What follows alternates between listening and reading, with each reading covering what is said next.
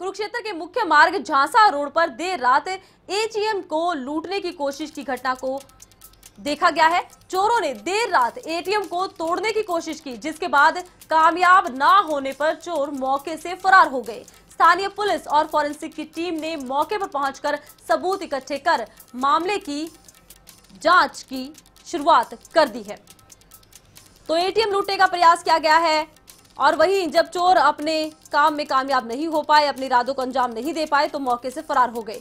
उसके बाद पुलिस मौके पर पहुँची फोरेंसिक टीम मौके पर पहुँची, तमाम सबूत जुटा लिए गए हैं। मामले की जाँच की जा रही है और लूट का प्रयास करने वाले लोगों की धरपकड़ पुलिस लगातार कर रही है।